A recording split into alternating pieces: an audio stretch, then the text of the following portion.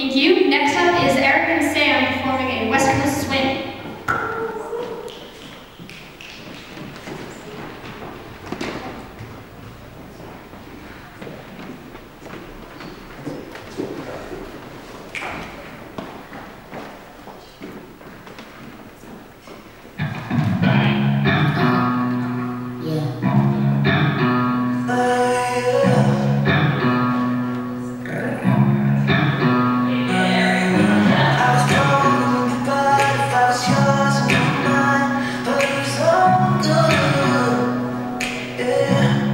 Thank you.